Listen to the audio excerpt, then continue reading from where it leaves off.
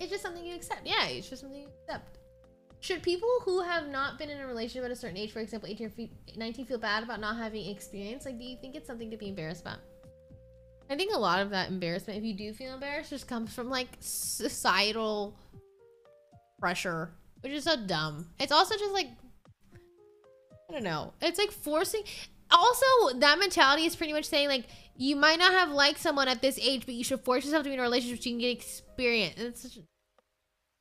How did you and John meet? John and I initially met through streaming, and then specifically through this thing called Streamer Camp, which was put on by Boxbox and Fuslie. Um, and it was just this thing where like me and six other, or me and five other streamers just got together and like we, it was just like we played games and did stupid shit.